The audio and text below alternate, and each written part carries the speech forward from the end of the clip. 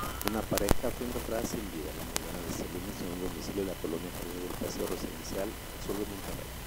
En los primeros reportes trascendió de los cuerpos tenía una bolsa de plástico en la cabeza de lo que presentaba golpes. El reporte los hechos fue cerca de las 11.30 horas al parecer fueron los propios familiares de los dos reclusos los que los encontraron.